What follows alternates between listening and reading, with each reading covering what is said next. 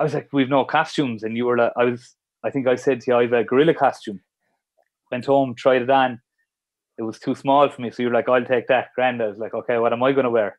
And you were uh, putting two and two together, so we are like, uh, I have the costume for you. So we called your mother's house, and you went up and you got your mother's wedding dress, I believe. And we went up. whoa, whoa, whoa! If you're gonna say you, if you're gonna say you fitted into my mother's wedding dress. Joe presents Baz and Andrew's House of Rugby, together with Guinness. Hello, and you're very welcome to Baz and Andrew's House of Rugby here on Joe, together with Guinness. We have a great show for you lined up today. Over the last few months, we've had some really great guests on the show, to be fair. We've had Victor Matfield, Jean de Villiers, uh, O'Donnell from New Zealand, Drew Mitchell in Australia, Simon Zebo Finn Russell from Paris, Ian McKinley and Michael Bradley from Italy, Simon O'Keefe from New York. Jesus, we've been all over the place. Mike Brown in England and James Hook in Wales well, Jesus, international or what? Uh, but this week we're going closer to home because our next guest is about uh, literally 120 meters from me right now, uh, marinating across the road. David Kilcoyne uh, is very, very, excited to come on the show, um, so we can't wait for that in a few minutes. Yeah, we have also got our our favorite penguin. We we don't like to differentiate between uh, our penguins we love them all the same, mm. but we like Sam Brown the best. Mm. Um, I think it's because you're more familiar. Like you might be more, you might like more your your older child a bit more than your youngest because you you're more familiar with them, right? Potentially, but there's also a bit of a novelty with the new one as well. you get a bit fed up with the older one.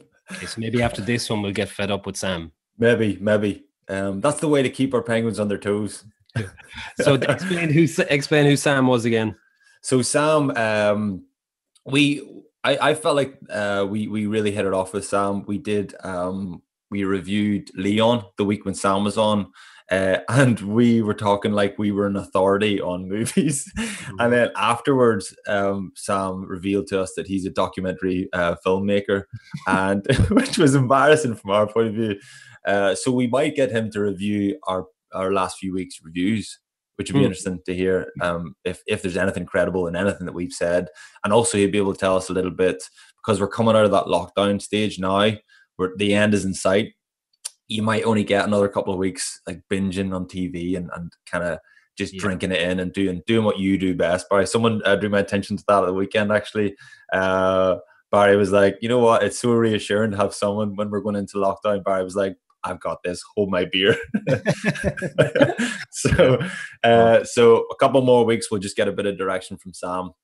Yeah. He's also his his wife is due uh, a baby this week, so I mm. texted him last night to request maybe a home birth live on the show. speed it up. So stay tuned, folks. Could be a first. It's an exclusive. Yeah. He said he'd see what he could do anyway. Um, deadly stuff. Sure, we'll get we'll get Sam on later on. We'll get Killer on in a few minutes. Uh, but uh, obviously, each week our show is going out on YouTube, and we now have over 800 subscribers. Thank you very much for that. So keep those coming to keep spreading the word, Penguins. Um, but finally, we have some rugby to talk about. Finally, New Zealand as a country have nailed the handling of uh, the COVID 19 crisis. And on Saturday, they declared that they had gone 22 days without any confirmed cases. And then to celebrate that, they had a stadium packed to the rafters for the first of the Super Rugby uh, Aotearoa threw myself into uh, games. I, I think it's hard to say that without going full Maori. Aotearoa. yeah, and, and, it's another one of those words. Like so, obviously we both mispronounced that again, but we're getting a lot more familiar with it. Um, and any other podcast would have presented themselves as experts in uh, Aotearoa or whatever you call it, but not us. We're zero, honest. Zero effort gone into it. it has too many vowels. That's first. I just can't comprehend something with that many uh, any vowels in it. Well, that's the thing with the Maori language. There's too many vowels. if you ask me, the Welsh have too many consonants. The, the, the fucking Maoris have too many vowels. Uh, But apart from that, it was absolutely spectacular. I was glued to it. Uh, Highlanders versus the Chiefs, and then uh, eh, that was in Dunedin, and then the Blues versus the Hurricanes in Auckland. My goodness, it was a fine example of live sport and live watching of sport because I don't know, there was it was ecstatic. The speeches at the start, the crack. Everyone was there obviously to watch sport, but it was a social gathering of just pure crack, banter, and entertainment. And uh, although it was eight o'clock in the morning here, I was leaping around the sitting room. Um, and yeah, what an advertisement for New Zealand. Have you seen that a lot of Americans apparently are watching what's going on over there and how well they've handled everything? And they're now starting to try and buy tons of property and getting, you know, basically move to New Zealand. I don't know how mental. is that right? Is that actually what it, is that what they're doing? Yeah, they're like going, Jesus, look at this place. Imagine being a, a Kiwi, you'd be like, oh, Jesus. No. You no. shut, up, shh, shut up. You know, like in fairness, they they have done an unbelievable job. And what's the Jacinda Ardern, the the prime minister? Like she's obviously the best. Too many vials. Too many vials. Yeah, too many vials, which is the best prime minister in the world. And uh, as well a job as she's doing, if I was a key, I'd be like, shut up a little bit, will you? yes. Yes. Say Oh. nothing. Tone it down. We don't want like millions of Yanks moving, moving over here. It's chaos over there. We're having great crack here. We're all just happy out, doing a little bit of surfing, uh, doing our dances and playing a little bit of rugby. We're having the crack and we're sound. I don't know. I, I, the other side of this is that um, they're kind of asking for it a little bit. That's what I'm saying. So yeah, that's yeah. Some of them are. because I I was torn watching it, and I was thinking this is this is a, an amazing occasion. Obviously, with all what's gone on over the last couple of months, uh, and these guys have done it right, and they're getting what they deserve. But I thought they were a little smug, Mm. just a little bit. We're back playing rugby. What are you guys doing? I was Still like- watching Netflix? Are you? it's like if you if you're ever in primary school and your teacher is probably too hungover to do uh, to do any work with you and gives you a, a little a bit of classwork to do, and it's simple, and you're like fucking simple. Uh, and you just kind of get through it for the first two minutes, then you can just color, you can just draw or something for the next half an hour. And some gold bag in your class goes, finished. and teacher's like, "Oh, really?" And you're like, "Shut up, will you? Shut up." Or, or if here's more closer, if you're on a stag party, right? And on the second day of a stag party, you don't know that day, and like you're getting into the swing of it, but there's some crew of the stag who've gone very hard that morning. They've gone started early, gone out getting loose by 10 or 11 o'clock in the morning. And then by four o'clock, they're absolute potholes and they're they're they're trying to they, you know you know you're not going to get in anywhere so you get a little splinter group four or five and you go off and you find this corner pub just right down the bottom of the world and you just have lovely crack there and you like this is like the fire is in the corner and this you know there's a match on the television you're all watching the match it's like yes and there's creamy pints a few nice birds in the corner you're kind of chatting up and then one of you sends a picture of what you're doing to the WhatsApp group at around six o'clock, and then everyone from the stag comes piling Ruined. fucking bananas, knocking over tables, uh, just wrecking the place, gets you kicked out, and, and it's all ruined. That's uh, the, first half of that. The first half of that is what happened on uh, Chris Henry's stag. Um, it was uh, Munich, and it was like one of the what do you call that? Like festival over there. Um, uh, everybody, what? What is it? Oktoberfest. Yeah, yeah. uh, So everybody's going mental at that, and then we were there for the first while, and then myself and because I've got no stamina. to do that for a while, and then I, I'm a wee bit tired. go for a lie down. so, uh, and but fortunately for me, Robbie Diack and Rob Herring were both on the exact same page. So we just took ourselves off. We went and got a coffee. We um, we went on TripAdvisor and found like the most um uh the like the number one tourist attraction in Munich, and there was a like a static wave on a river. And, and like a bridge overlooking it. So all these guys surfing. We had a lovely morning. It was lovely. And then You're, like, Aus- you're Australia, man. You're Australia. Where you're not even New Zealand. yeah, I know, I know. You're on a I know. different stag. To be fair, I'm probably the, the lads who go too hard in the morning Yeah, yes, and ruin it for everyone. yeah. I was uh, I I was at a, a Zoom stag on Friday night. What? Yes, I know. It was as good as a Zoom stag could be. It's uh, Anna's brother's um, wedding. Obviously, got like postponed there a couple of months ago because of everything, and then uh, yeah, so they they're getting married in a couple of weeks' time. Uh, and they, we just had to we just had to make do. just everybody went around telling stories, and then like, okay, folks, see see you all at the wedding. Close your laptops. it was Was it, was it that awkward moment of trying to leave the, the Zoom call when, when yes. Everyone's trying to find your window when everyone's talking and you're like, yeah, and, and some fella won't stop talking. You're like, Christ. I have to it. Just text it, "Oh, text them." text it into the Zoom chat. I'm away here, fellas. Just wanted disrupt you. Uh, but look, let- let's talk quickly about rugby just to get it out of out of my system. So first of all, first of all, though the the occasion it was a lovely occasion. Mm. It looked like everybody was buzzing. Just that we kind of little bit smog, a little bit weird playing rugby, and then it just felt like the most timeless um, persona ever. Everybody on this occasion, all the supporters, all the TV guys, are all having this amazing time. Carnival atmosphere. Uh, celebrations. No one even really cares about the result. They're just loving watching live sport and watching rugby. And then the the referees just said, "Oh, you're all having a good time, are you? You're all offside. We're in charge." they, they try to ruin the buzz. they did. They got a bit whistle happy for for both games. To be fair, Yeah. um, although I, I wasn't too bothered because it look they had made some law changes and they needed to stamp down early, and it was offsides and it was entry at the rock that they were that they were stamping down on, and that made the defenses less in your face, and it made the rocks a little bit more. No one was really taking the piss at the rocks. so it was just like fast ball. Um, and they didn't use the VM or what's it called the the TMO. The VPL.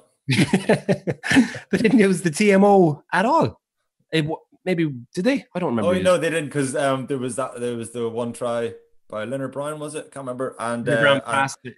Yeah, Oh, no, yeah. he scored. Yeah, it was Dan McKenzie passed it to him. Yeah, Yes, and it, and that was the one when um the, the ref goes, "You happy?" and he goes, um, "Yeah." And it's like it was so he just got caught up in the moment because it probably was okay, but it was definitely worth look, having a look at. And then the Mm. ref said to Aaron uh, Aaron Smith, oh, "I've got three hippies, happy, happy, happy." Try. even Lienert-Brown when he was putting the ball down was like, yes. Yeah. um, surely that wasn't a wasn't a try. But uh, look, I'm as you said. It, I don't know. The Super Rugby always has that vibe to it that it's not too much about who wins the game. It's more about how good this game can be. Um, and watching these two games the weekend, do you reckon there's much we can learn about learn from their presentation of rugby and how it's played? I know this is a conversation that's been going on for years, but I suppose it's more highlighted now when we've had a break and to see how well they do it, especially when it's just New Zealand teams and how entertaining and cool and the amount of young people at these games, like teenagers on the piss, having the crack, and uh, you know, a bit of a party atmosphere. Um, whereas I don't know here, provincial games there seems to be a lack of that kind of buzz. That be fair enough.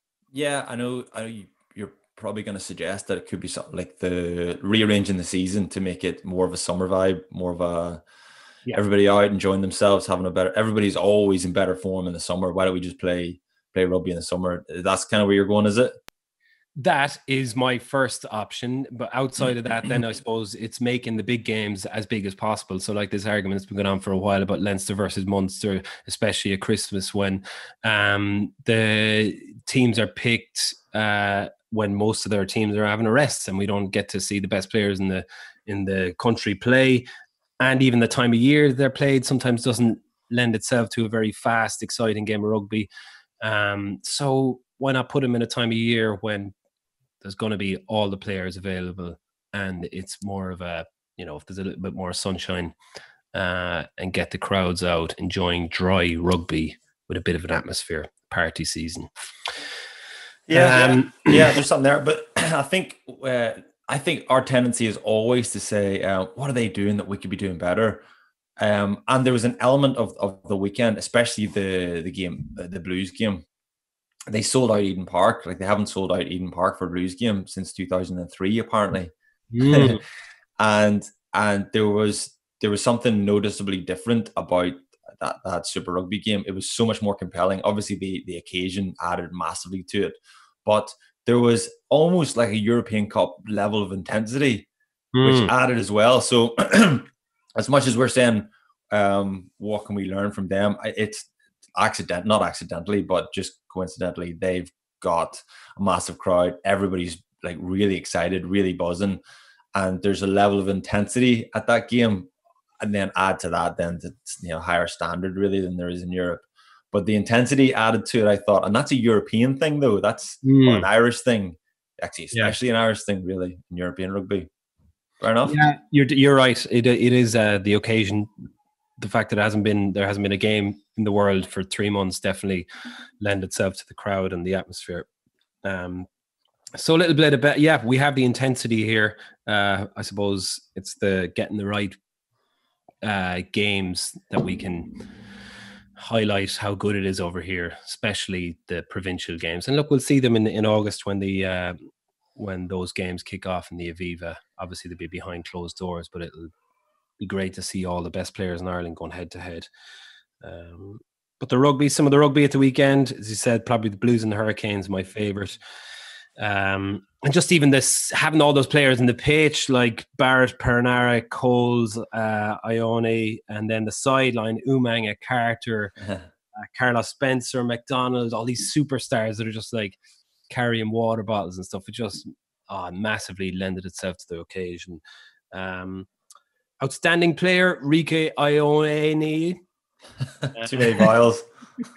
um, now, hot take on this. I said this before the World Cup. I think New Zealand struggled in the World Cup because they haven't replaced Conrad Smith and um, uh, Nonu, Ma'a Nonu, since they both left New Zealand rugby.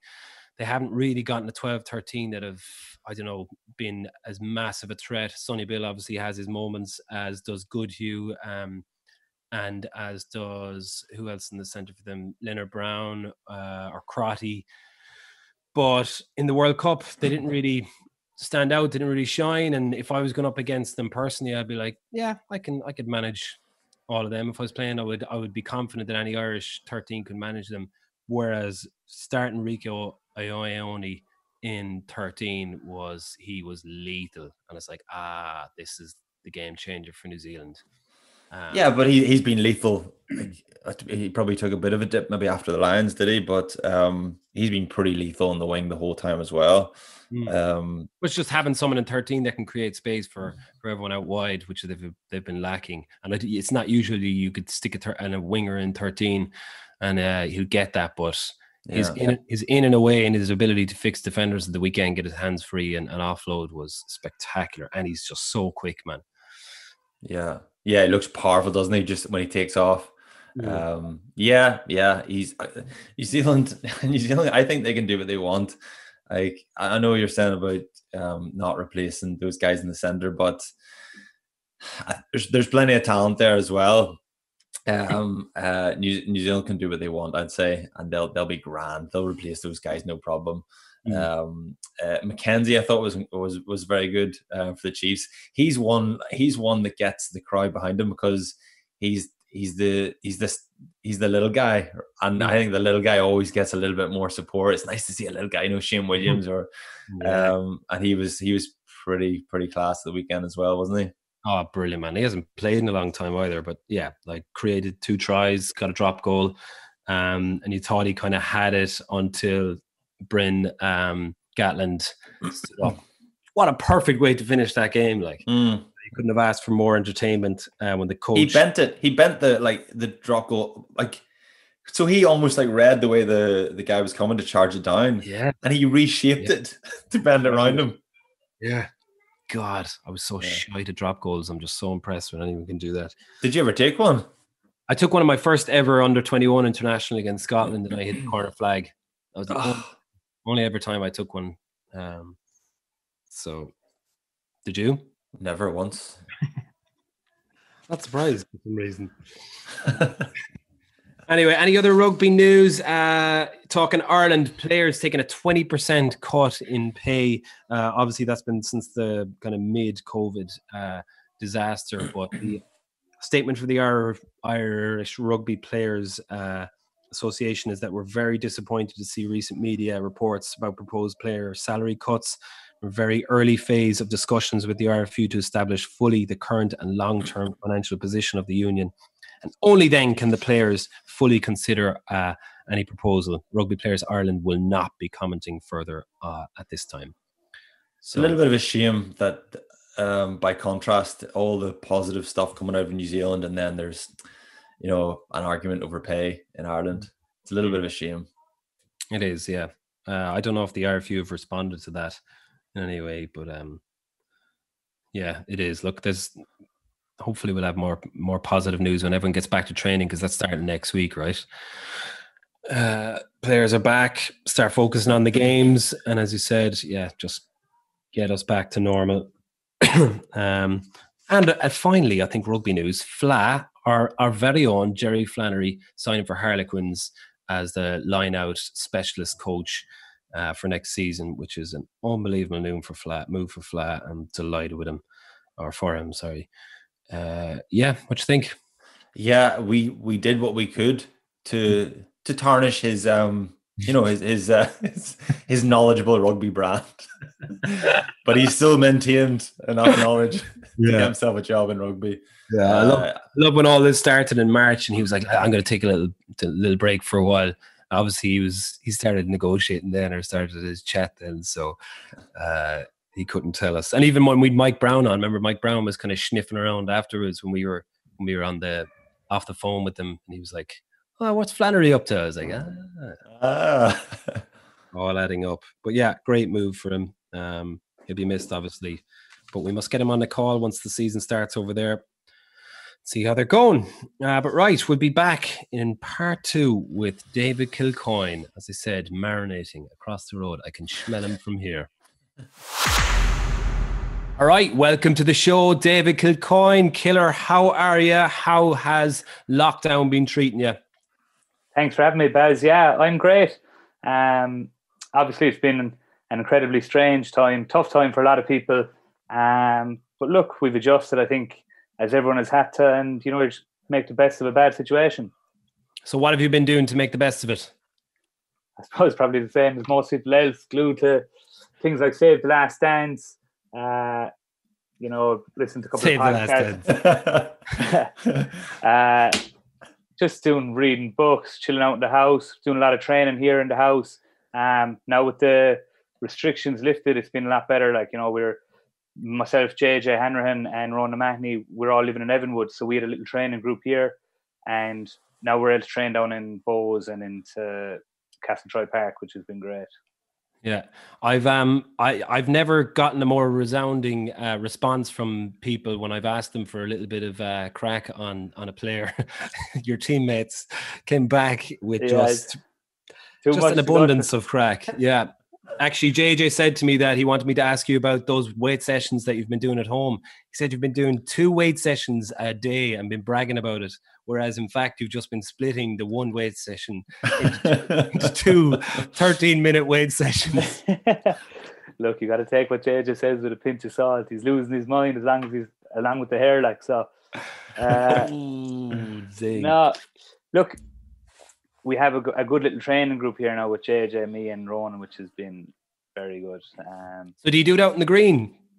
We do it out the back. We actually we bought stuff from Elvery's, and in fairness to Munster, they were very good to us. They gave us a good bit of equipment. So between the two of us, we pretty much have a full full gym to do the two 13 minute sessions a day out there.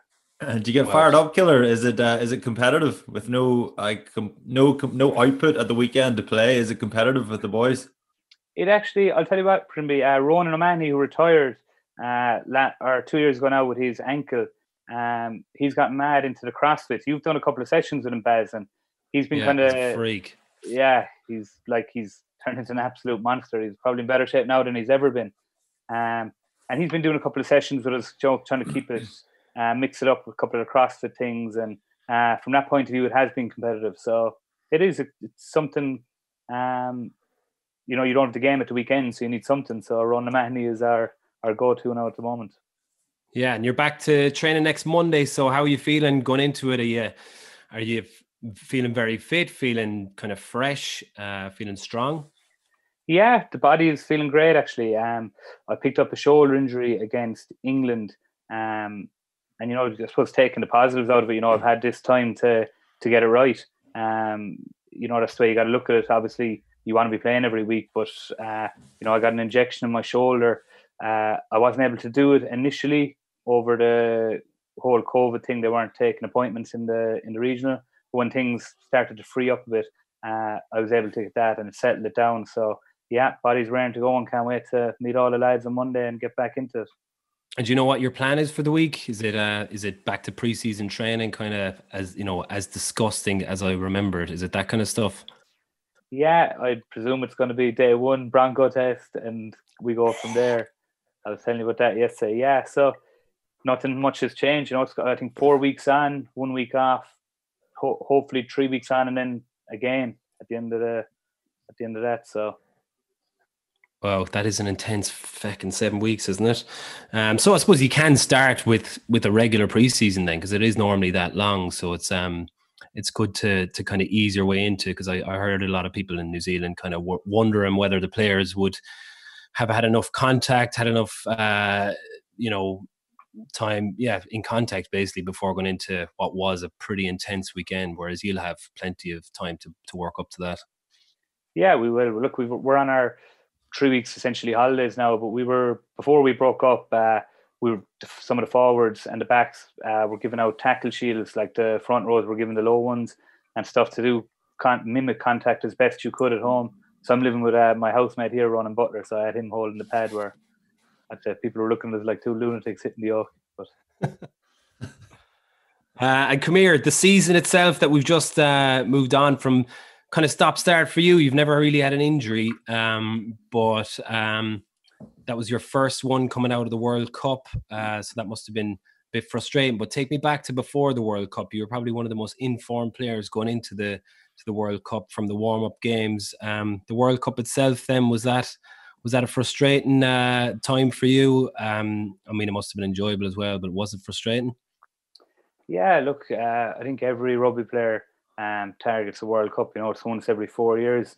Uh, so it obviously, you know, you set out your goals at the start of the year, short term, medium, long term, and uh, going to the World Cup, and uh, you know, obviously trying to win a World Cup was my goal. Uh, so going in there, I felt in in in great form and great nick, and you know, you get there then, and um, obviously I really enjoyed the tournament. Uh, I was happy, you know, with my contributions, I suppose. But you you ultimately want to be playing um, more and more. Um, you know, we didn't get the results, uh, didn't go our way. So you know, it was a very frustrating tournament.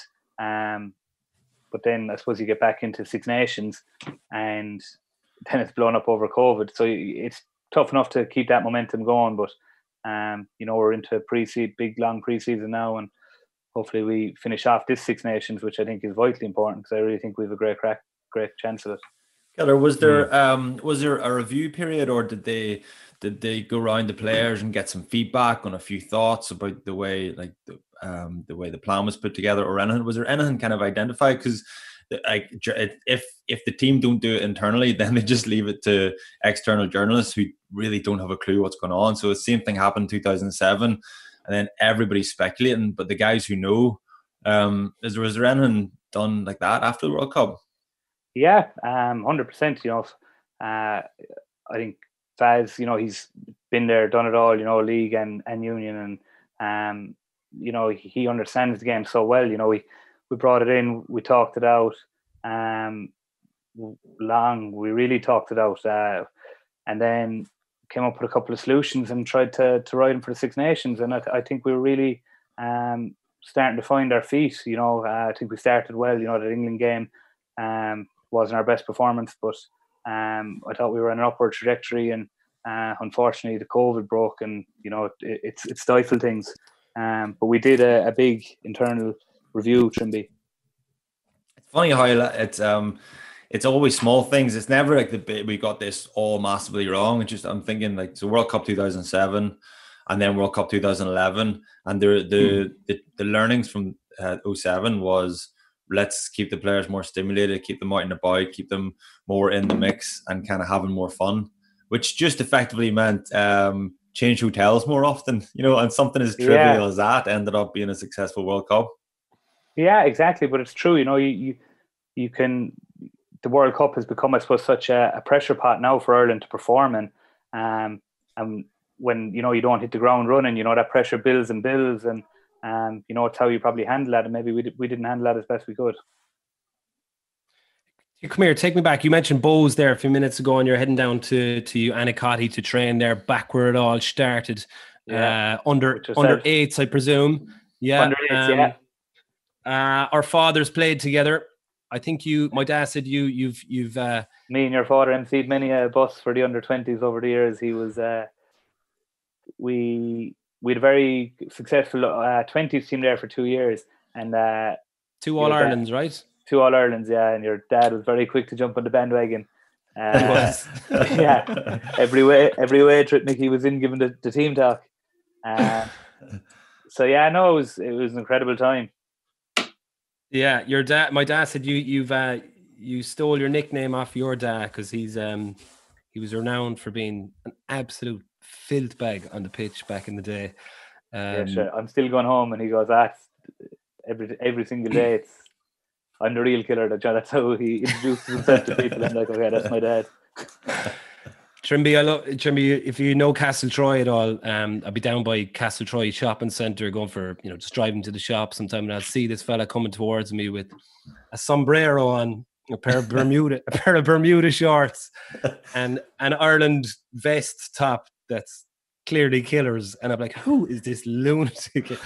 and it's it's it's usually Pat Kilcoyne that's coming towards me, big mad hitting him. Uh, so you didn't lick it off a stamp, did you? Yeah. So my mum and dad would go for a walk every evening, and you probably you don't see my mother because she's about 20, 20 paces ahead of my father. He's back struggling to keep up in the sombrero and the Munster Schools jersey from 2000. Yeah, oh, I love it. He's an absolute character, man. Uh, but yeah, then then you went on to I suppose Munster Academy, um, and then I had the pleasure of coaching you for a yeah two years maybe. Two years, um, yeah. Before you kicked on from Munster, so what were you then? That was 2010 and 2011. So our first, well, actually, do you ever remember our first? It was under. I was with the twenties, and I was calling. I think we were playing Cork Con around I'll give you a funny story before we get into the serious stuff.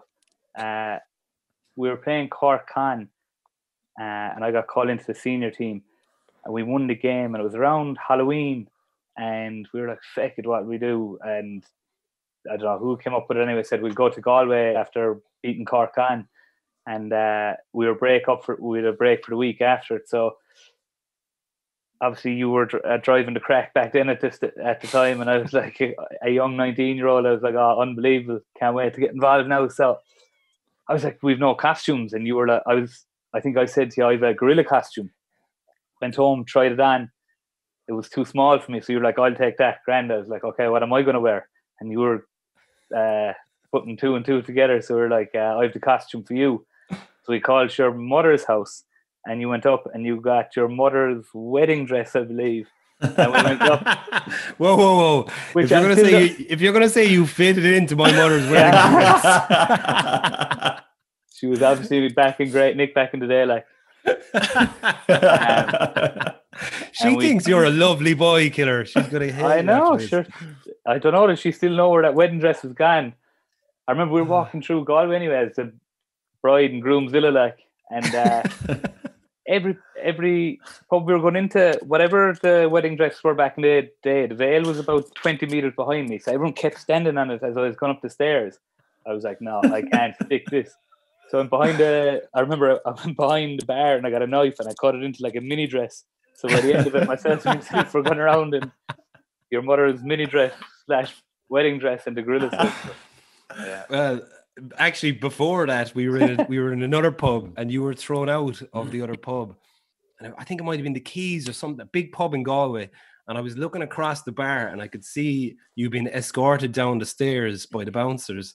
And you had the front of your the wedding dress in your hands like like a bride would. And then the two bouncers were behind you holding the back of your your wedding dress. I think I was shouting at them don't don't get that dirty don't ruin my they day were yeah obediently like escorting you out while like two bridesmaids holding your wedding dress Oh, that was phenomenal. Yeah, I remember that very well. I don't think you were even that young, man. I think you were mid twenties back then. Yeah. I was 20s What was Uh, uh, what then- was Barry? What was Barry like as a coach, Killer? Yeah, he was very good. Uh, Trimby, he was. You been recently out of the game, Baz. So you know, you- I s- I think that's the the beauty of someone who recently comes out of the game. You know, you're very in tune with. Um, you know, you knew the latest calls, the latest plays. You implemented a lot of what we were doing with Munster and with Bohs, and um, yeah, very good. Threw a lot Yeah, of I think- dummies back in his day. Barry did. I I imagine sure. that would be a, a strong point of his coaching. Sure, um, that's all I had. Yeah, I have. To, uh, I, I was I was at the sale game. I have the wall. ah there you Miracle go. Sounds like try. everyone hopped the wall back in the day. The The wall miracle try. Yeah. Uh, well, come here. I think Declan Kidney. When I went into coaching, Declan Kidney rang me. and He said it's it's it's all about the players you have in your coach. And I think we were we were blessed with the team we had for Bohs that year. We got promoted. Cully Tucker was the head coach. I was assistant coach, and it was yourself, Kyle Sheridan, Tommy O'Donnell, JJ Hanrahan, Dave Foley, uh, uh, Sean Henry. So we six or seven, you know, professionals uh, playing with us. So it was uh, an absolute pleasure to coach you. And I, I I just remember Cully telling me like every time we get into a 22 we had a call which was a lemon off a line out. And it was i think it was a down and a drive but you kept you kept changing the call as the ball was going into the line out. Cancel cancel.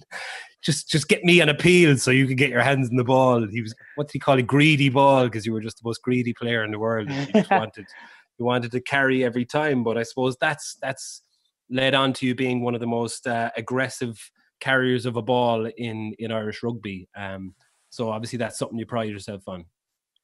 Uh, yeah, look, I always try and uh, you know, back then I suppose the greedy, greedy, the greedy ball uh, term. Uh, thank God that didn't stick. Uh, I remember Kyle Sheridan actually to say I'd been really tripping him up. Uh, he was in playing scrum half at the time. I'd been really tripping him up, going to the roughs, going no, no, stay out. Um, yeah, look, it's something you know if you can give momentum to the team and it it, helps the team. Like I, I'm happy to do that. You know, I think everyone um, has strengths and weaknesses in their game, and sometimes we can focus too much on our weaknesses, which is obviously something you need to do when your work on. But uh, at the same time, you you got to go to your strengths, and ball carrying probably has been a strength of mine over the years, and um, it's something I, I need to keep developing. So confidence is a big thing for you, and kind of exuding confidence, and and uh, uh, kind of that you're, I suppose. Uh, I remember a particular story about you calling up a Buccaneers player that you were going to be playing the following weekend and scrummaging against. Is this true? And This is uh, again is back under twenties. As you can't be, key- you obviously just went to one source for all these stories yesterday. The under twenties lads. like. and exuding a lot of confidence on him, telling him that you were going to destroy him next weekend. Is this true? No, I can't answer that now. Uh, yeah, we'll let you off the hook. We'll let you off the hook. Thanks. Uh, but come here, when it when you kicked into to, to playing for Munster regularly, um, what was the transition like for you coming out of academy? Was that you know I suppose into a pretty uh, pretty successful team, pretty successful front row? Was that what was the what was that very exciting for you, and uh, how challenging was it for you to make that breakthrough? it was incredibly exciting and it was incredibly tough to break into the team. You know, when I broke into that pack, you know, it was um, myself. It was first of all you had Marcus Wian, um, and then below that, you know, you would have had uh, Darragh Hurley, Dave Ryan, who who were quite hotly tipped at the time to take over, and then you would on the other side you had BJ, John Hayes, you would um, like Savarley, uh, Flan just retired uh, with his calf uh, but you Paulie, Dunners, Miko, you know, um, you can keep going through all the names, but that was the kind of pack you were trying to break into. Um, we actually, so I would have done two years. I didn't get into the academy till I was quite late, so I played those two years of Bohs under twenties, and Ian Sherwin uh, he didn't want to let me into the academy at the time, um, and Ian Costello fought my case. He went down with clips from, um, and got me in. So I owe Kazi a big one for that. Um, and I did two years in the academy till 22, and then I went straight into a full contract. Um, on the back of we won, we had a very good B&I Cup side, um, which right. would have had, yeah, would have had likes of Sherry Archer, Peter O'Mahony, um, you know, Dave O'Callaghan, a lot of lads that would have gone on, Dave Foley, Nags, Murray, a lot of lads that would have gone on to play for Munster. And those sessions back then between the eighth side to be like I'll always remember Dumper was in charge and um Axel then you need like the scraps that used to be a training uh between the B&I Cup side and the senior team.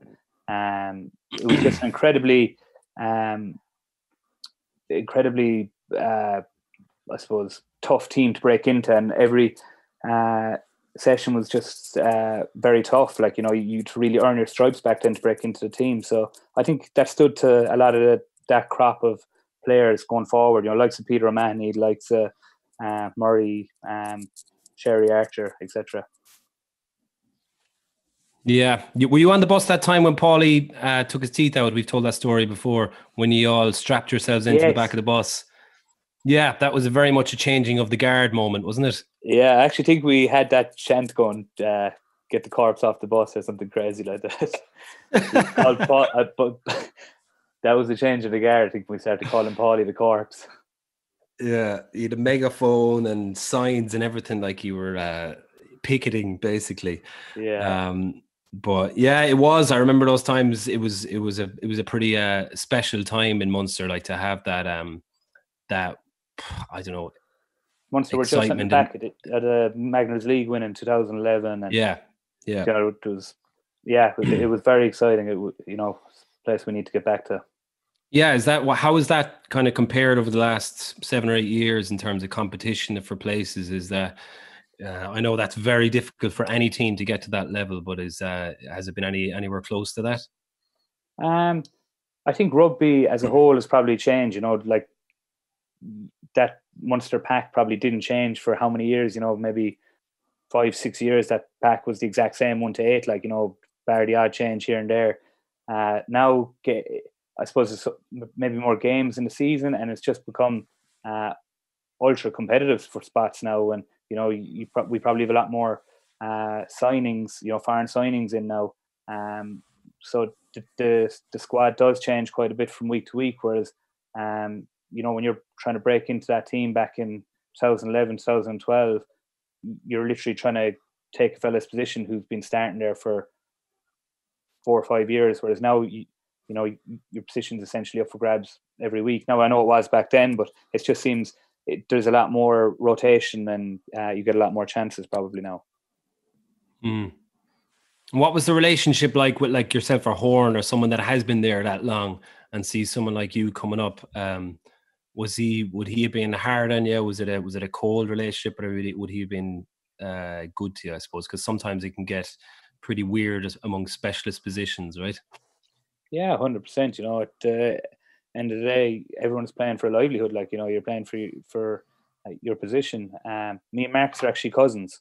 Um, believe it or not, yeah, yeah. So wow, uh, makes so much sense. Yeah, we would have been um, we would have been quite close. Like you know, when I was in the academy, sub academy, Marks would have been great. Um, and then Wian was in at the time as well. So for my first, uh, the 2012 season when Rob Penney took over, um, Wian was that. So I'd in at the la- end of the my first season, I had kind of broken on as second choice behind Wian, and then Rob took over. Um, and then so Wian started the, the following season um, as first choice, and then Marcus uh, was on the bench. And then you know, as a young lad always does, you know, I, I went into Rob and I was saying, you know, I I was second choice last year, and uh, you know, I thought I'd an excellent preseason, and uh, to be honest, I was expecting to be kind of first choice going into that season. But Rob was, uh, you know, an incredible, incredibly good for young lads. You know, he he worked with the, that New Zealand twenties team. Um, he's a great rugby brain, you know. and he sat down with me. We went through the clips, and um, Marcus actually pulled out and first game of the season with a back spasm, and he rang me and he was like, uh, "Well, you got your wish. You're on the bench." And then I came on in that game, and then from there on, uh, I started. Uh, that, that was kind of my breakthrough season. I I came on in that game, and I started every game then for the rest of the season, pretty much. That um, I, I would imagine that style of coaching would have suited you, Killer. It would have been a nice way to get started. A little bit of wide, wide. I remember like Donncha found himself um out in the wide channel quite a bit, and like it mightn't have suited him as much. But for lads like you, um, who just love a wee bit of space, that probably would have been a great, um, great starting point for you with Munster. Yeah, hundred percent, Trimby. Uh, he played. It was, it was pack shape. We used to call it back then. Uh, P A C K. You know, two four two, similar. Um, Rob, I think, was nearly a, a bit ahead of his time. You know, they were doing mm. that in Canterbury and the Crusaders, and um, I'd give him the odd phone call now, and uh, I actually met him over in Japan, and he's taken over the working over in Sydney.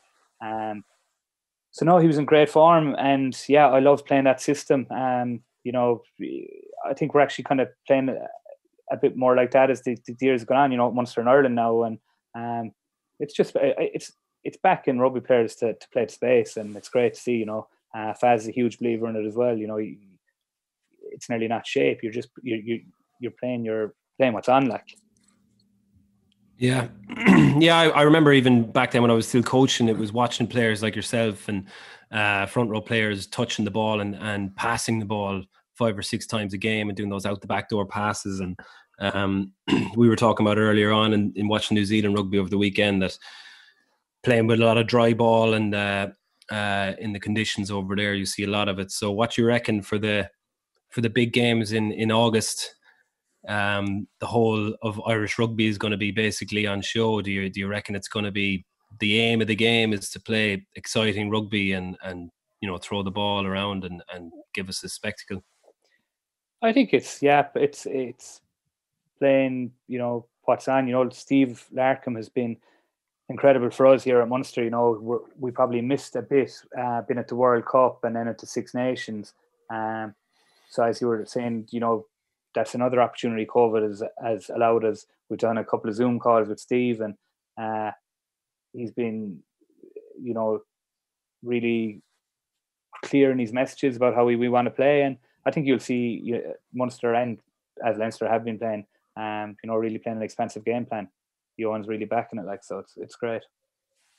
Brilliant! Can't wait. And come here, uh, you you've bought a house in Lahinch, right? So I was talking to you the other day that your plan is to to get down there and get your hands dirty over the next couple of months.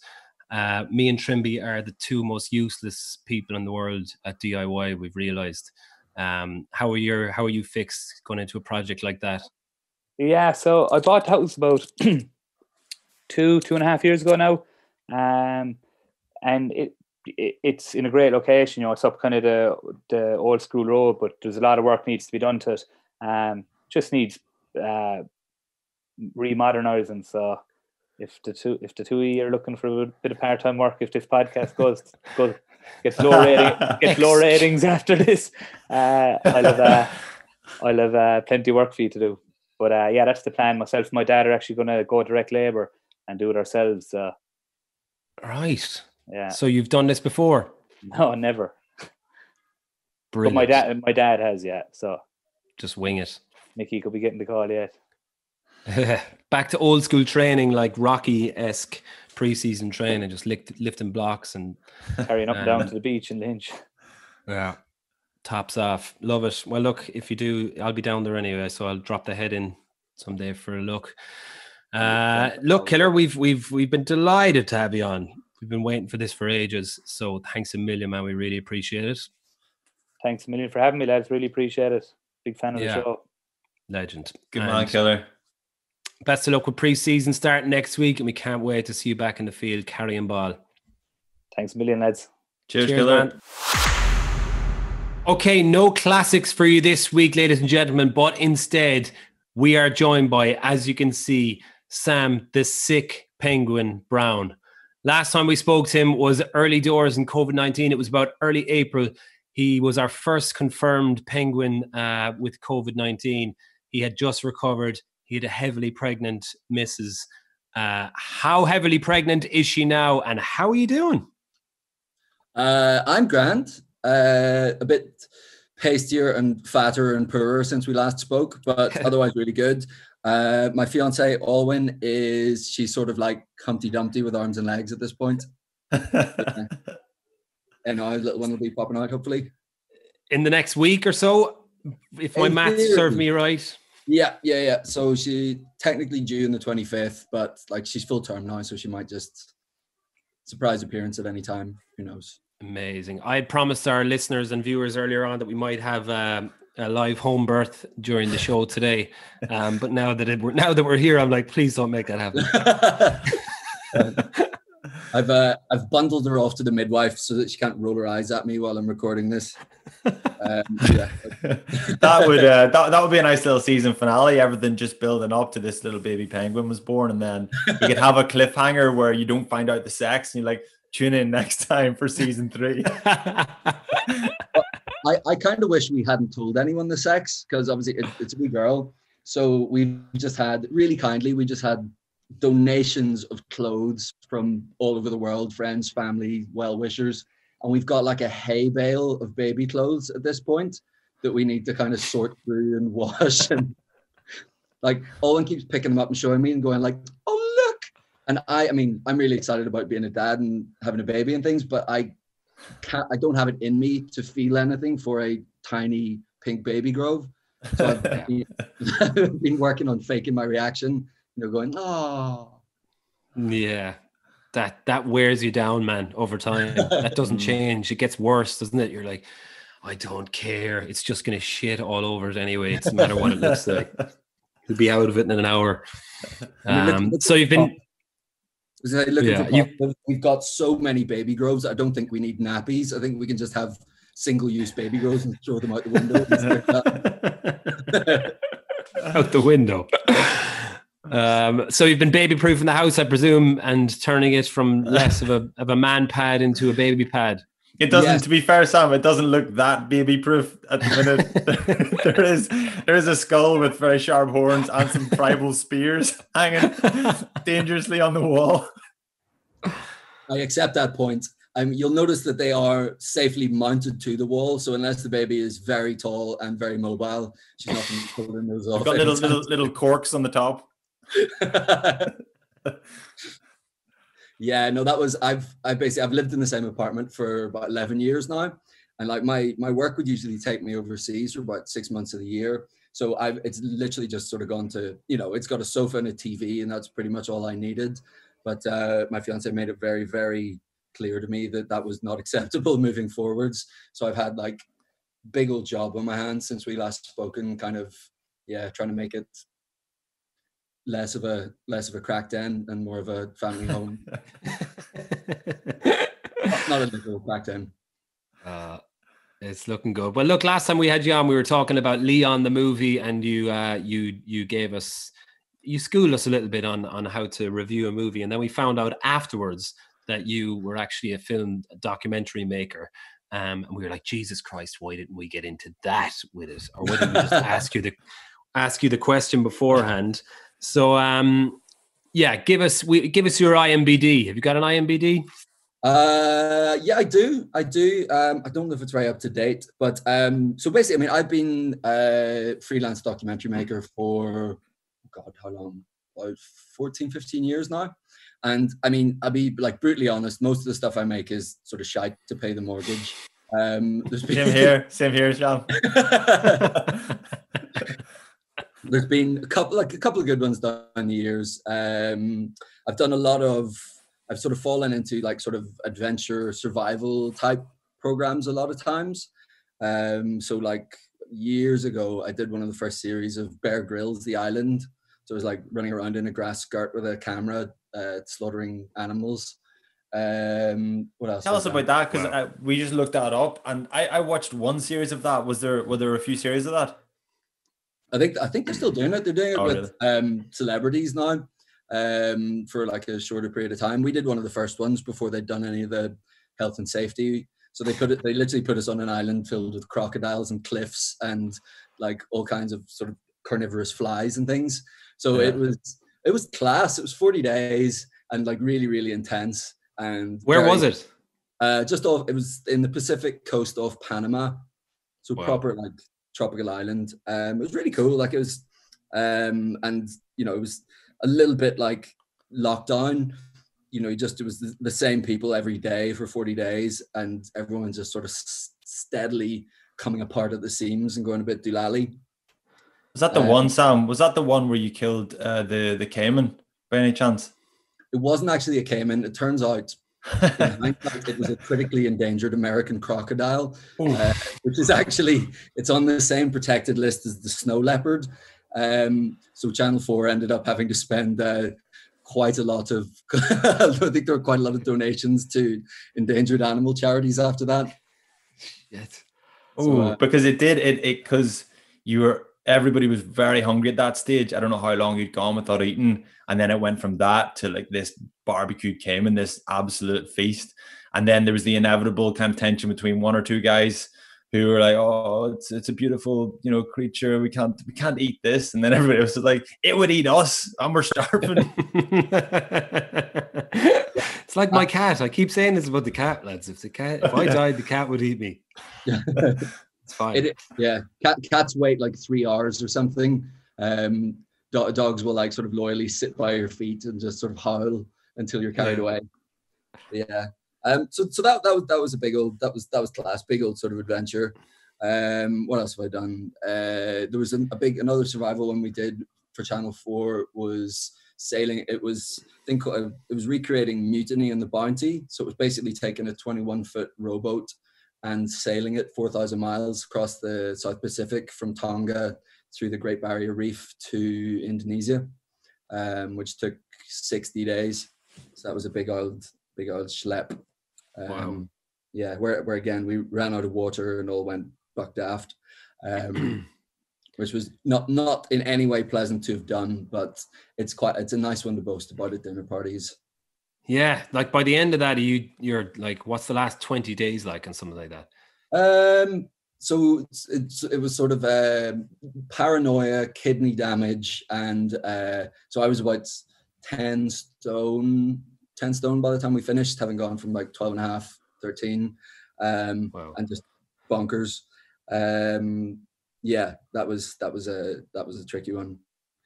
Hey, Uh, Sam, you're more um you're more hardened and kind of cut out for that sort of stuff than than I than I was. Like I even the World Cup in 2011, by the time I was I was dying to get home, I was glad we got beat by Wales. Otherwise, we would have had to play two more rounds.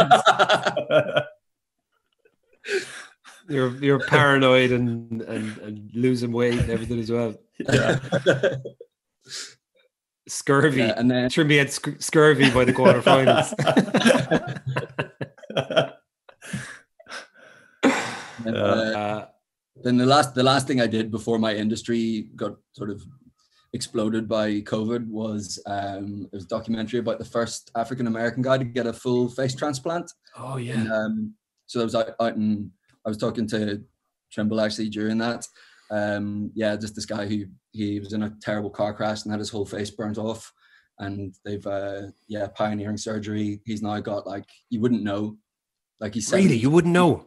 Yeah, yeah, yeah. Like I mean, he looks a bit, a bit odd, like like slightly, slightly scrambled in the face department. but like, you like you'd never guess it was a face transplant, and you'd never guess, you know, he'd be late sixties, and he looks about, looks about my age now.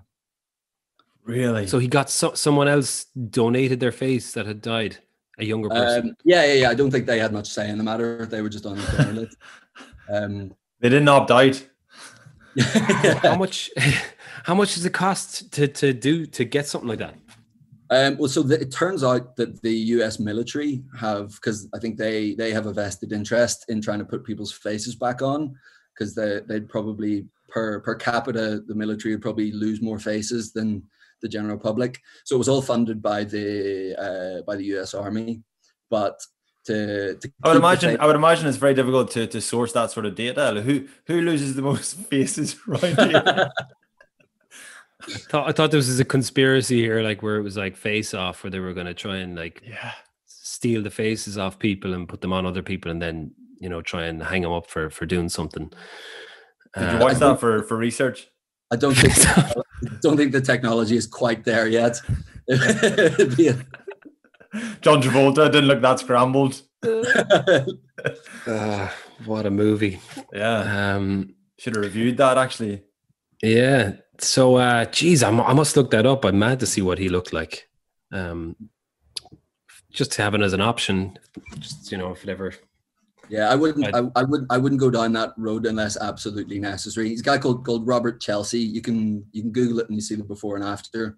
Really amazing, like really inspiring guy. Like one of the least sort of like very like very religious guy and just very at peace with the world. You know, like he was. Most people who suffer that kind of injury would have like massive depression.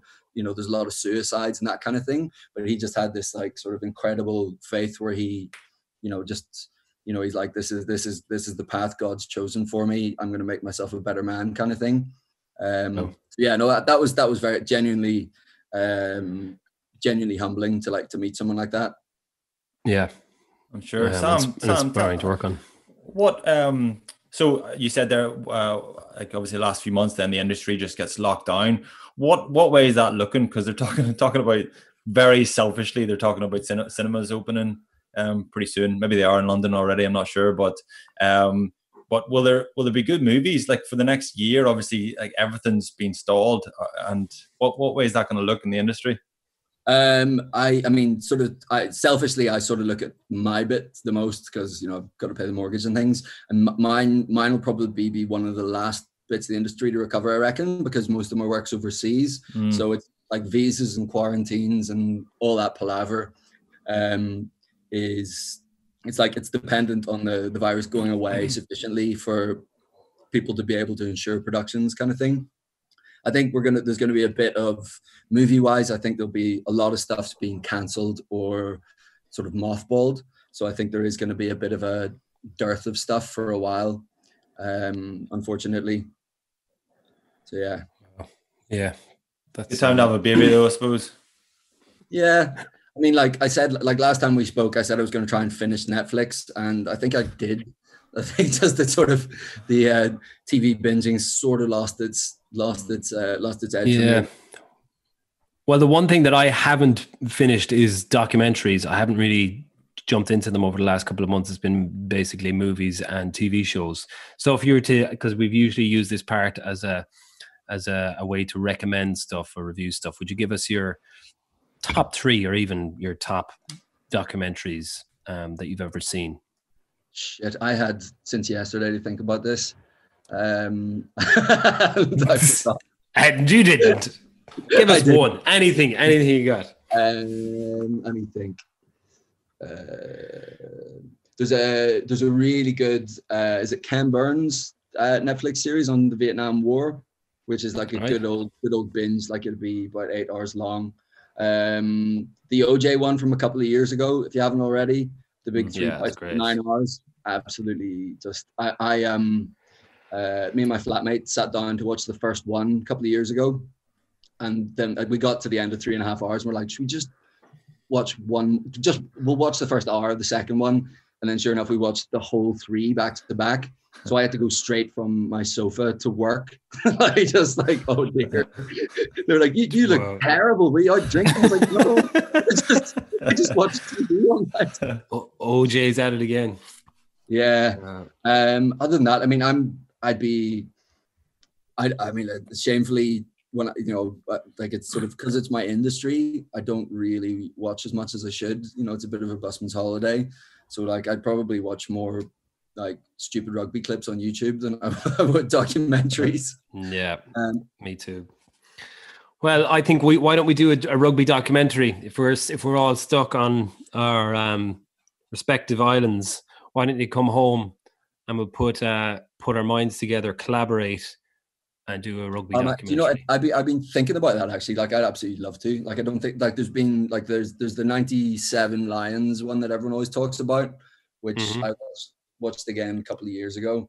Um, like the like the Lions in '97 would have probably been what really got me into rugby in the first place. Mm, Um. And when you watch it again, it's not that good. Like, Is it not? It was just the first of its time, right? yeah, Like it, you know, it's like I, did, I one of the sort of lasting images for me was kind of Keith Wood in a dress with a wig and Martin Johnson in a dress and a wig. It's sort of and loads of people going ho ho ho banter. Uh, um, but like no, I still remember. Like my mum wouldn't let let us get Sky Sports when I was a kid, so I listened to it on like a really crackly radio, you know, like and I was kind of writing down the score and stuff. Um, yeah, no, I think Teletext. Teletext would have been back then. yeah, well, the two, that was the, the 1999 World Cup. I watched quite a lot of it on teletext because again, my mum wouldn't let me get the channel. Jesus, that sounds like proper My- 1920 stuff. my Yeah. memory my memory of that Lions tour was or that that documentary. Who was it said uh one case of a mistaken identity? Do you remember this? They were doing like media training and uh, they're like, you were spotted outside a nightclub the night before a game, and then there's a Scottish player. Well, it wasn't Doddie Weir, was it? One case of mistaken identity. The cro- everybody erupts, and then like that's the one liner. Yeah, I can't bit- remember. yeah, that's that's all I remember. That's all I remember. I don't remember the the banter of the men dressed as women. Mm. Hilarious. Yeah, do it again, do it again, fellas. Well, I think um, we're we're definitely going to go to South Africa whenever the Lions might kick off, whether if it's next June or next September. They're talking about. Um, so look, let's put it in the in the pipeline. Let's do it, lads. We'll uh, Yeah. and and and get out and make it more about us having the crack and the safari, as opposed to dressing up like women, Yeah, let's let's not. We're not. Gonna, which is fine. Which is totally fine. uh, we're not going to go anywhere anywhere near any rugby. It's the documentary is going to be called "Living Without the Lions." Yeah. yeah. So, so Perfect. tune in, tune in next time. Yeah. Sam, um, uh, so we were we're, we're kind of keen to get you on. We're, we're kind of in apology mode, really, just because we were getting on like we're movie critics, right? Mm. and, and we got you on, and we just talked about uh, your sickness, really. Mm. yeah, which was obviously very current at the time. But um, uh, would you give us a quick review of our reviews? Because we're inclined to think that we haven't a clue what we're talking about, but we hope we're aware of that, and we hope we're not taken too seriously. Are we? Are we getting the right sort of vibe or um, capturing anything correct with these movie reviews? Well, look, at the end of the day, like movies are they're there to be like consumed and enjoyed, right? Um, you know, they're not made for, you know, snooty film critics to, you know, make like highfalutin comparisons to philosophy and things, you know, and I like I've I I mean I've I've loved everything you've done because we seem to like we're about the same age. So we have the same kind of Mm. like double shot of nostalgia and then just sort of uh, random observations. So I think you nailed Braveheart, for example. Um, I thought that was class. Yeah, yeah. No, no, I'm, I am uh, I'm absolutely. I don't want to sort of, I don't act like, uh, you know, superior in any way in that respect. You know, because I, lo- I love movies not from a, you know, like you get. I can be boring to watch movies from sometimes because I'll notice like if the continuity is wrong or something. Mm. But generally, that's only if it's not a good movie. You know, like a good movie, whatever it's about, will sweep you up, and you'll just be like, you know, you, it's just escapism, and you just enjoy it. You know. Yeah, the last uh, movie, the last movie that I felt that, and as you say, it just sweeps you up. There's something you can't describe with it. Uh, was 1917. Um, I went to, to see that at the cinema with a mate of mine, and literally 30 seconds into it, we turned to each other and we are like, "This is class! I'm totally captivated in this." And like nothing's Yeah. happened, and I don't, know- I don't know what it is. There's just something indescribable about it. Uh, just whenever something really grabs you. Um, Yeah. Mm. yeah. But that's the That's last time that's Christopher- happened. That's that's Christopher Nolan again, right? Yeah. Yeah, he's our hero, so he can do no wrong. Yeah. You a big fan of his? Yeah, absolutely. I think he's there'd be there's a few sort of commercial directors who haven't I don't think have made a dud. So like like Danny Boyle, like all of his movies are like s- they're really different. Like a Christopher Nolan movie, he actually loads of his are really different as well. you know, most but there's I read somewhere that like uh you know a really good like a top director will make three good movies. A great director will make five. You know, like you're lucky if you make one. Um, I think Christopher Nolan would be pushing towards five easily, like a couple of Hmm. Batmans, Memento. Um, I really like the Prestige. You know the one about the two, Mm, orphans, which Yeah. like I, I was trying, I was doing that hard sell to my fiance because like there's obviously a bit of a battle for the remote control in in my apartment at the minute, and uh, so I have to really make the case for things. And if I lose, we end up watching the OC. So um, I tried to I tried I tried to sell a prestige tour, and I was like, "It's about these two wizards," and she's like, Brilliant. Yeah, that's that's one I haven't watched in a while. Um, did your does your missus allow you to get Sky Sports now? Yes, did you yeah. uh, so you watched Yeah. rugby the weekend? Uh, no, I didn't. It wasn't really. I mean, it's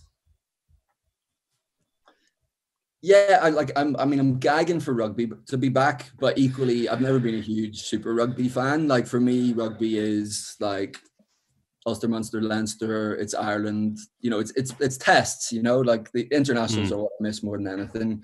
And then obviously, having been like grown up in the stands at Ravenhill or Ravenspan or whatever it's called now. Um, you know, I it's it's you know it's the sort of it's like the tribal parochial bit of it that really gets me. Um, so yeah, I know that, and also I'm I'm sort of squeezing in as much sleep as I possibly can at the minute. So getting up early, getting up at five a.m. for Super Rugby is not really it's not Mm. going to happen. Yeah, Unfortunately, think- you can't might- stockpile sleep, man. So it's just it's not going to work. Uh, the New Zealand the the tournament at the minute in New Zealand though it's I think it's I'm the same as you Sam I find it hard to get into Super Rugby because they changed the parameters the the competition the pool setup everything every year. And then they bring in more teams. And I'm like well I don't I have no uh, affiliation with that or no kind of history or nostalgia or kind of I don't understand you know the background. And then whenever they just go five um uh, it- it's as close probably to like the New Zealand version of, of Interpros as possible. And there's a way because it's kind of it's ring fenced obviously just the five teams i think i can get into that. I think i can uh, get a bit of a knowledge of a bit of understanding of the background of each team and the rivalries and the kind of the subplots going on i think i can get into that so i hope they don't i hope they just keep it at that and then that means it's more accessible Yeah. then I'm the Yeah. same. I think it's uh it's it's the way forward. Like maybe bring in the Australian teams that might because there is an existing massive rivalry between Australia and New Zealand, but you do get you know the best players in New Zealand playing against each other every week, and you could see it that the crowd are way more buying into that than Yeah. than bringing down maybe South African teams, Argentinian teams, Japanese teams, um, and then they're being on at different times of the day or night where you don't get to see them. So um, I think we can. a lot of the Super Rugby I'd have watched, you know, like Australia and South Africa and things, they're like they're franchises rather than teams with any kind of history. Mm. And there's something, Mm. and I guess we'll have to get used to this. See, when you're watching a, a match with like an empty stadium or just with a few, like, you know, just pockets of fans here and there, there's it's so different. Like, it just feels so empty and deflated compared to, you know, when you've got like 70,000 hostile fans like baying, you know, like the, the atmosphere is so much of it, I think. Yeah, I think that's the competition that they've gotten wrong. So yeah, hopefully they get it right. But um, I look like the Irish rugby's are going to be back in August. So even though it's going to be behind closed doors, what do you make of that with the uh, what's I don't know if they're going to put in crowd noise or whatever. Um, I'm not sure that would work for rugby, although it's been working in NRL. I, I mean, I can't imagine piped in crowd noise being anything other than weird, like playing sort of feed Yeah. for football on the PlayStation or whatever. But like, I mean, I'm just glad it's back because I mean, it's uh, you know, I didn't realize how much like uh, how much of my brain was consumed by thinking about live rugby, like this sort of this whole last three four months or whatever. It's really like it's forced me to read books and kind of you know pursue new things. It's been been, been awful. Like so, I, I can't wait to get back to the. I can't can't wait to get back to the old ways. Yeah. Me too. Me too. Well, look, what a week, man. We're uh, we might we might get you on, I suppose, next week or two uh, when when the little baby arrives. Yeah. And uh, yeah, give us a little look at our young. This will be our youngest penguin to the Yeah. herd. What's a what's a group of penguins called? I should know this. Uh, I can't remember. A load of them. A load of penguins. Uh, so look, yeah, best of luck to the two of you over the next week. It's uh, very exciting times. We're delighted for you, and uh, yeah, enjoy it. Uh, thanks, guys. Really nice good one. Sam. Thanks a million All for coming on, Sam. Appreciate it, buddy. Okay, Trimby, we probably could have wrapped up with Sam there, but uh, we'll do it now anyway. Uh, sorry about that, Sam. I could, I could have left him on to the end, although we would have felt pressured maybe to give him Penguin of the Week or maybe his his uh, his unborn child. But we instead will will will give it someone who really deserves it this He's- week. So Yeah, I'd say Sam's child, unborn child, is probably a shoe in for Penguin of the Week next week. I only- was thinking that. Yeah. The only way um, the the child won't get it is if she doesn't um, have birth before two episodes time. So that's and then just Yeah. logistically, they might get it for the first episode of next season. We'll see what happens. the the ball's in her court. Yeah, yeah, yeah. Uh, it's hers to lose. Hmm. um, uh, so a couple of a little bit of um, chat in the Facebook group this week. The Penguins are in fine fettle. Um, there was a, a picture of a mannequin with a dildo on it, um, which was you know refreshing, lovely. Um, Daniel Gill. Um, someone said, "Who is this player?" Daniel Gill says that's Paul middle name Dild O'Connell, which I thought was very clever, very good. Very Uh, very Daniel, you're in the mix. Um, you're an honorable mention. Uh, Bernard uh, McGreer was disgusted with um, some of the Twitter um, threats that Jacob was getting, um, but he misspelled it and he he talked about death treats. something, something very different. Uh, accidentally, you've made you put yourself in the running there, Bernard. But uh, Kate McGrath, um, off the back of the putting challenge, was able to find the link for that. What was the back? What was the backstory to that, um, Barry? she found the link to the actual game that Bart's that Marge Simpson buys Bart um, in the Simpsons episode where Bart uh, steals um, a computer game from the from, that he want. I can't remember the computer game that he wanted to have, but he tried to steal it. Um, but what's the fuck is the name of this? Sorry, my language. Um, it is the Lee Carvalho's putting challenge, which Homer, oh Jesus Christ, which Marge buys him at the end, and he fakes interest and feigns interest to win her love over by playing this computer game. So the Penguin of the Week, what's her name again? Kate McGrath has done more research finding that link than we've ever done. So well done, Kate. Unbelievable. Yeah, she found the actual game. So now we have a link to it here and we can go play the game. And I presume it'll be as Bart as bad as Bart let it out to be, where he just launches a ball off the off the tee into the car park, I think. or no, he's on the he's on the putting green and they're like, Would you like to select putter? You have selected driving whatever club. Driver. Driving club. Driving club. as bad as golf as uh as as who else was bad at golf? I don't know. I think Who do we have who do we have on recently that was shit at golf? um, it wasn't Hook, was it? Was it Jacob? Hook? Oh, we just list all our high profile. Oh. Tadhg Beirne. Tadhg Beirne. It was Tadhg Beirne. He was shit at golf. Remember? Oh yeah. yeah. Um. All right. So get on the. I'll. We'll put it up on our Facebook page, or is it up there already? And we can. You can play it. It's. It's absolutely shite. I'm sure. Right. Thank you very much. That's your penguin of the week. Thank you everybody for listening. Thank you for watching. Thank you to David Kilcoyne. Thank you to Sam the Sick Penguin Brown. Thank you to Pat, Paul, Dearmid, and Anthony for putting the show together. This has been Baz and Andrews House of Rugby here on Joe together with Guinness Party on Trimby. Party on.